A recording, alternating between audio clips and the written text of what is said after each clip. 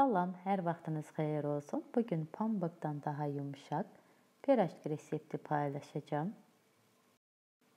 Bunun üçün xəmir edəcəyim qaba 1 stəkan qatıq əlavə edirəm. 1 stəkan ilıq su, 1 xörək qaşığı maya, 1 çay qaşığı duz. Bunları qarışdırıb həll edirəm. Qoyuram 10 dəqiqə maya aktivləşsin. Maya aktivləşdikdən sonra üzərinə 4 stəkan yarım un əlavə edib xəmiri yoğururam.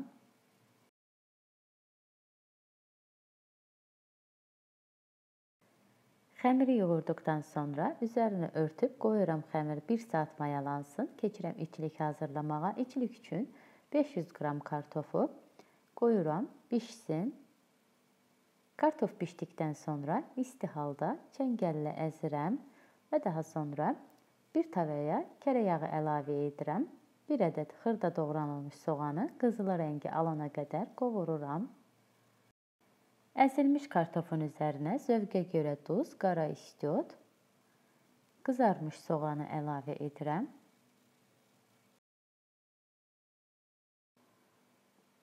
Bunları qarışdırıram.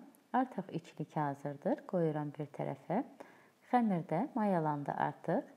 Xəmiri taxtanın üzərinə əlavə edirəm.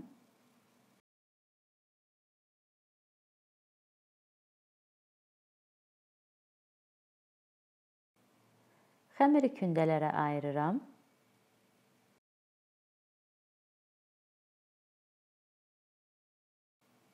Xəmiri 17 hissəyə ayırdım. Xəmiri kündələyib bir tərəfə yığıram.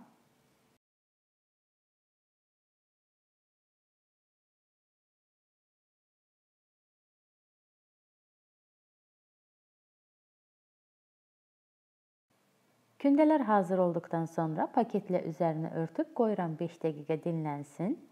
Kündələri dinləndirdikdən sonra taxtanın üzərini unlayıb kündəni əlimlə biraz açıram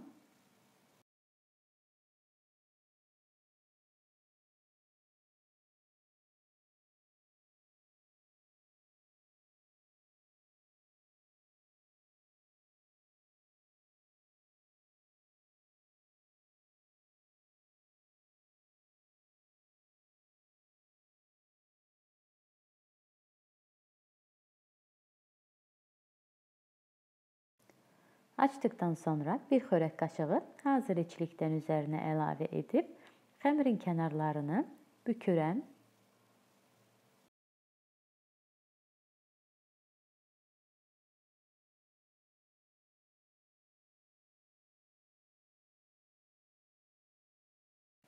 Biraz əlimlə üzərindən yayıb xəmirə şəkil verirəm. Hazır olduqdan sonra bir tərəfə yığıram.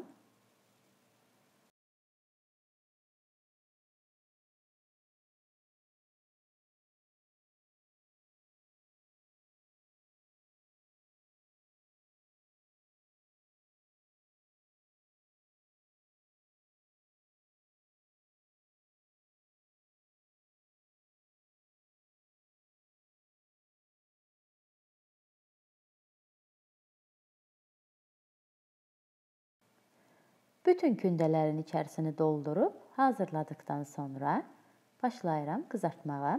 Qazana duru yağ əlavə edirəm. Yağ tam isindikdən sonra başlayıram pirajkini qızartmağa. Orta xodda qızartıram ki, içərisi də yaxşı bişsin.